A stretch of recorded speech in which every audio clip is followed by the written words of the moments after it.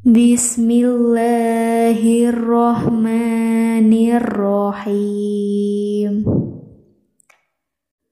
Allahumma inni as'aluka khairaha wa khaira ma jabaltaha alaihi wa a'udzu bika min syarriha wa syarri ma jabaltaha alaihi